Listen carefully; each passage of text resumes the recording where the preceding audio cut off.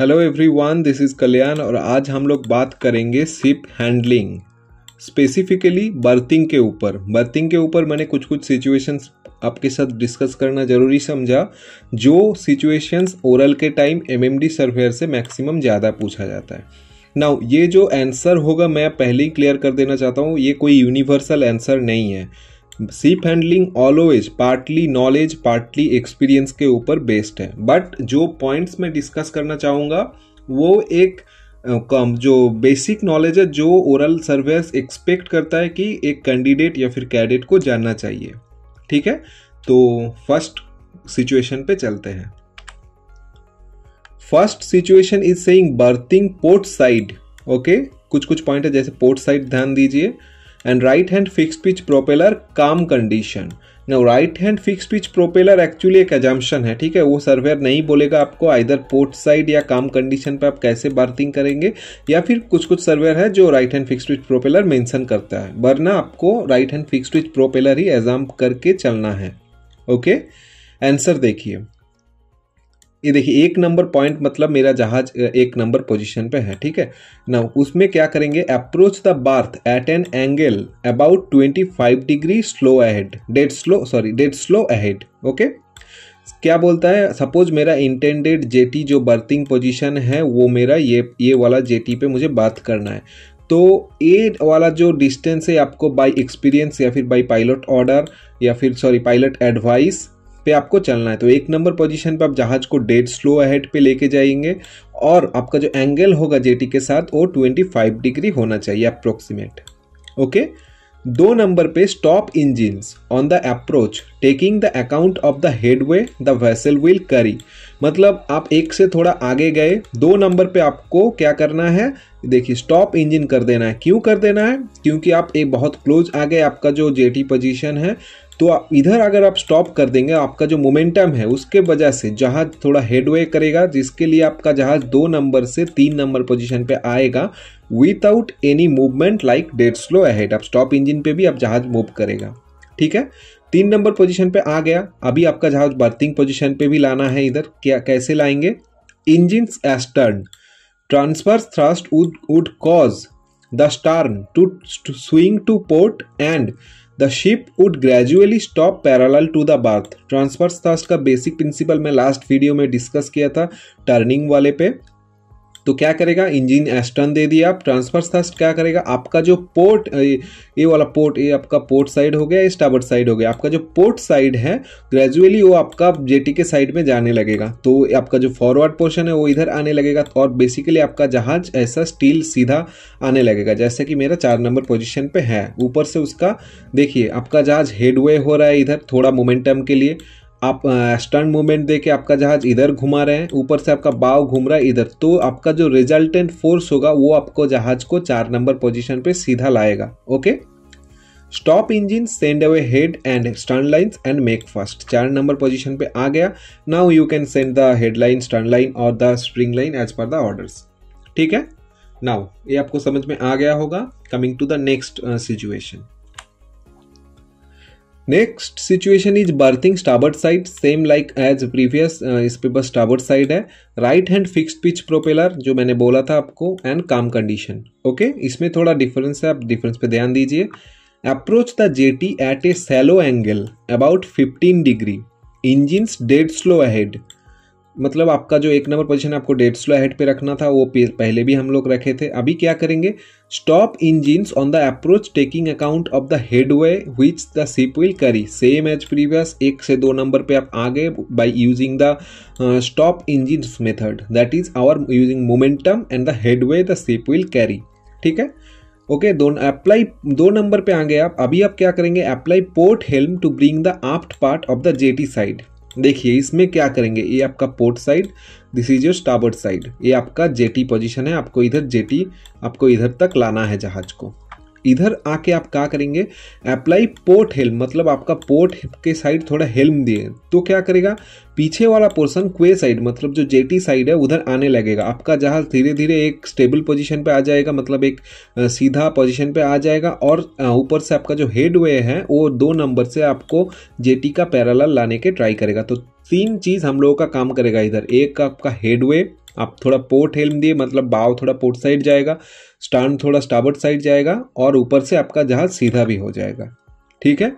Stop engine and astern propulsion to stop the headway मतलब आपका जहाज़ को अभी ये जो तीन मोमेंट जो फोर्स काम कर रहा है इधर फोर्स को रुकवाने के लिए, अगर आपका आ गया जेटी पोजीशन पे, अगर आपको रुकवाना है ये पोजीशन को तो एस्टर्न प्रोपल्सन आप देके जो आपका मूवमेंट है उसको रुकवा देंगे। मतलब अभी आप ready for pass the headline and stern line ठीक है? ये आपको समझ में आ गया होगा। मैं नेक्स्ट सिचुएशन पे चलता हूँ। Next situation is berthing port side strong onshore wind onshore wind पे थोड़ा ध्यान दीजिए, क्योंकि ऑनसोर का साथ एक एंकर भी आता है onshore anchor offshore anchor wind भी आता है। तो दोनों में कंफ्यूज मत होइए। ऑनसोर विंड मतलब जो विंड आपका इधर से मतलब आपका सी वार्ड साइड से, आपका जेटी साइड पे बह रहा है, उसको हम लोग कहते हैं वॉन्सोर विंड, ओके? टाइड आपका इधर से है, हेड से है। टाइड आप हेड से क्यों लेंगे? क्योंकि आपको स्पीड थ्रू वाटर ज़ीरो रखना है। आप टाइड हेड से होगा तो आप मूवमेंट देके उसको ज़ीरो कर सकते हैं, लेकिन पीछे से होगा, आप मूवमेंट देके नहीं कर सकते, okay? Stem the tide at position one rudder hard over to starboard and engine half ahead एक नंबर में, एक नंबर में मेरा आ गया जहाज़ इधर आ गया स्टेम द टाइट टाइट आप स्टेम पे रखे that is okay now rudder hard over to starboard मतलब आपका पोर्ट स्टाबर्ड आपका हार्ड ओवर टू स्टाबर्ड क्यों करना है? आपका जहाज़ थोड़ा एंगल पे है तो आपको उसको जेटी का पैरालल या फिर जेटी का सुइटेबल पोजीशन पे लाना है। तो आप rudder hard over to starboard कर दिए। नाउ दो नंबर पे देखिए। Attain a position of the berth and parallel to the berth with the port side well fendered आपका जहाज़ जहाज़ का जेटी का पैरालल आ गया, लेकिन विंड आपका जहाज़ के ऊपर काम कर रहा है। ये आपको कभी भी धकेल के जेटी के साथ बैंक कर सकता है। क्या करना है आपको? फेंडर्ड रेडी कर रहा है। फेंडर्ड आपको मालूम होगा, मैं बोल नहीं रहा फेंडर्ड क्या है? तो फेंडर आपको रेडी रखना होगा तुरंत, क्योंकि तुरंत मतलब एक प्रैक्टिस है जब हम लोग जो एरिया पे थोड़ा ऑफसोर ऑनसोर विंड रहता है उसके लिए okay high free freeboard vessels will benefit from the wind on the beam and allow the vessel to close to berth at position three run headline and stern lines fore and up क्या बोलता है? High freeboard जो vessels है, जो इसका जो exposure area है wind के लिए, वो अगर ज़्यादा है तो अगर, और उसका विंड भी मतलब बीम पे है तो वो थोड़ा ज़्यादा बेनिफिट पाएगा जहाज़ को विदाउट एनी मूवमेंट मतलब एक नेचुरल मीन्स है जहाज़ को मूव करने का। आप जहाज़ को दो नंबर से तीन पोजिशन विदाउट ईजिली मूव कर सकते हैं। तो यही बोलता है ये वाला पॉइंट ठीक है? ना आपका जहाज़ इधर आ गया। तो आपको विंड मिल जाएगा इधर से टाइट कंट्रोल कर सकते हैं आप बाई मूवमेंट से, जो हम लोग नाम दिया है मूवमेंट इनिशिएट कर सकते हैं आप उसको। As the vessel alongside the quay pass and secure fore and aft spring and adjust the ship's position to suit with the head and stand line मतलब आपका जहाज़ दो नंबर से आप तीन नंबर पे ला दिए देन आपको headline stand line spring line जो जो सुइटेबल है आपको पास करना है। ठीक है? ये वाला सिचुएशन आपको समझ में आ गया होगा। मैं नेक्स्ट सिचुएशन पे चलता हूँ। Next situation is berthing starboard side okay ये एक पॉइंट हो गया स्टाबर्ड साइड टाइड अहेड और एक पॉइंट हो गया. इसमें आप क्या करेंगे? बेसिक इसमें क्या थोड़ा सा चेंज है? मैं आपको बोलता हूँ एक एक्चुअली नॉर्मल पोर्ट साइड जैसा नहीं है. पोर्ट साइड में आप यूटिलाइज कर सकते हैं right hand fixed pitch propeller को एट इट्स मैक्सिमम बट इसमें क्या है? देखिए टाइड आपका हेडिंग पे ला दिया मैं. इधर, और आपको स्टाबर्ट बार्थ आपका रेडी है, आपको बर्थ बस करना है या फिर बोलना है सर्वर को, कैसे करेंगे। देखिए, ये बहुत इजी आप थोड़ा ये वीडियो स्किप मत कीजिए, देखिए। Stem the tide and approach the berth using the engine ahead to maintain its position जैसे कि मैं बोला टाइट आप आगे रखेंगे तो आपका मूवमेंट दे के आप जहाज़ का दो, जहाज़ का जो स्पीड है लॉग स्पीड उसको आप मेंटेन कर सकते हैं, ठीक है? इसीलिए हम लोग टाइट को आगे रखते हैं बर्थिंग के टाइम ये पोजीशन आपका हो गया एक नंबर पे। अभी apply a little starboard helm to cause the bow to cant towards the berth cant के बारे में बोला थोड़ा तेरा कर, टेढ़ा करना है। वो मैं पहले वीडियो में बोल चुका हूँ आपको। Towards the berth then steady the ship's head the vessel could expect to move bodily towards the berth आपका जहाज़ देखिए जहाज़ आपका मेरा आपका इधर है। आप क्या करेंगे? थोड़ा थोड़ा सा आपको स्टाबर्ड हेल्म देना है। जैसे ही आप स्टाबर्ड हेल्म देंगे, आपका जहाज़ इधर आ जाएगा। स्टाबर्ड हेल्म देने से बाव आपका स्टाबर्ड के साइड थोड़ा टेढ़ा हो गया, कांट हो गया।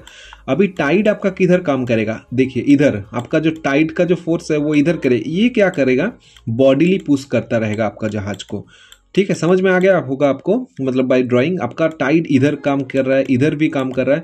ये जो फोर्स एक्चुअली कंबाइंड फोर्स जो इस साइड पे आप यूटिलाइज करवा रहे हैं बाय स्टाबर्ड हेम देख, वो आपका जहाज़ को बॉडीली मूव करता रहेगा टुवर्ड्स द जेटी तो यही है मेन इस जो स्टाबर्ड साइड और टाइड हेड का फंडा।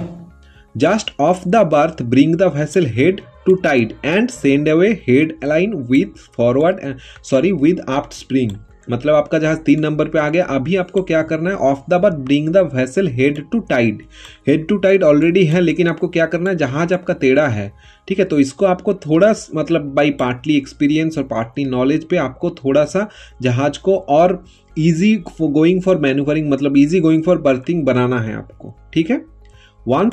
Alongside stop engine and make first with headline and stand line and spring line मतलब आप थोड़ा आपका मैनुवरिंग दे के या फिर ये टाइट को यूटिलाइज करके चार नंबर पोजीशन पे ला दिए। देन आप as per the basic procedure spring line headline stand line आप कुछ भी एज पर द इंस्ट्रक्शन आप पास कर सकते हैं। ठीक है? तो ये वाला सिचुएशन भी हो गया। नाउ नेक्स्ट सिचुएशन पे चलते हैं। ये वाला सिचुएशन आप देखिए और एकदम इजीली समझ जाइए। ठीक है? इसमें आप स्किप बिल्कुल भी मत कीजिए। बेसिक प्लेन सिंपल वर्ड में मैं समझाने का ट्राई करूँगा और ये सर्वर लोग पूछता भी है। फ़र्स्ट क्या है? सर्वर आपको कब लगेगा कि हाँ यही सिचुएशन है? एब टाइट करंट जब आपको बोलेगा। या फिर आदर वेसल के बीच में आपको बर्थ करना है। ये दो पॉइंट आप याद रख दीजिए। आइदर वो आपको मेंशन कर देगा एब टाइट करंट या फिर बोलेगा कि दो वेसल का बीच में तुम कैसे बर्थ करोगे। ठीक है?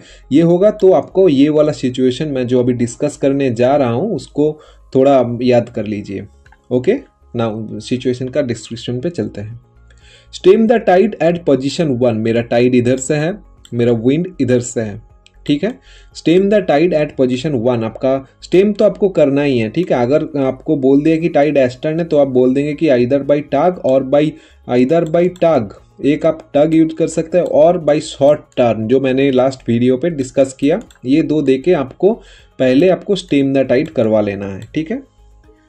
पोजिशन वन आपका पोजीशन पे हो गया। Manoeuvre the ship to position two bring parallel to another vessel दो जहाज़ आपका ऑलरेडी है, आपको जहाज़ को दो नंबर पोजीशन पे मैनूवर करना है, इधर से इधर तक।